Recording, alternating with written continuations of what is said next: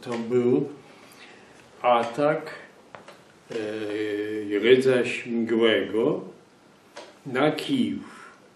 Prawda? Aż doszedł do Kijowa, wyzwolił, wyzwolił, no w każdym razie zajął Kijów i ojciec był po armii austriackiej ogniomistrzem w artylerii.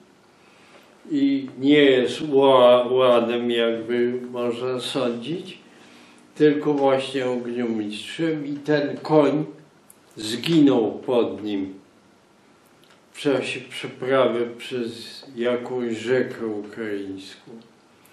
A ojciec wyszedł z tego, cało wrócił i tam jest zdjęcie ślubne ojca z moją mamą. W